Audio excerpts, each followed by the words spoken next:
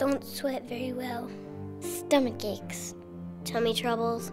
Unexplainable fevers. Can't tolerate heat. Headaches. Pain in my hands. Tingling in feet. Corneal whirling. Burning in my hands and feet. Miss a lot of school. Anxiety. Heart palpitations. Unable to work. Being fatigued. Gastroparesis. Chest pain. Gastrointestinal issues. Migraines. Kidney disease. Kidney transplant. Dialysis. Open heart surgery. Congestive heart failure. Lung issues, hard to breathe. Proteinuria. Hearing aids. Stroke. White matter lesions in brain.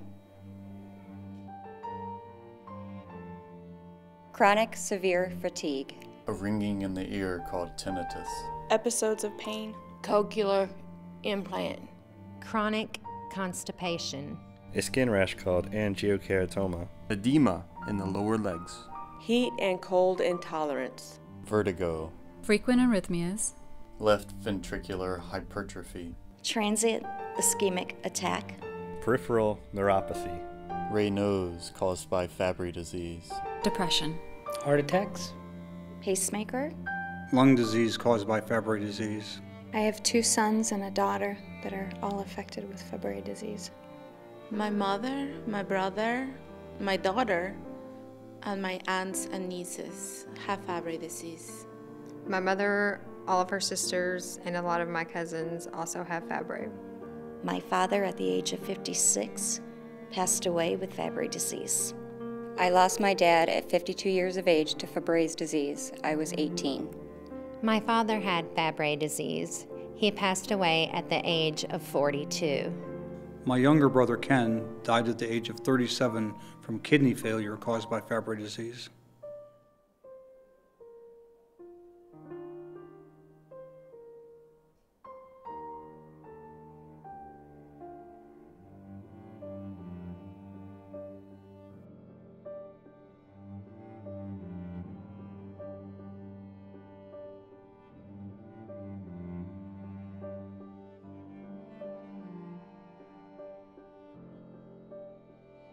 These many common symptoms of Fabry disease vary greatly among individuals. It is invisible, often seen, rarely diagnosed, sometimes called the Great Masquerader. It is far more prevalent than historical estimates indicate, and most importantly, it is treatable.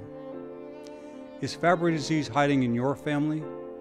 For more information, contact the National Fabry Disease Foundation.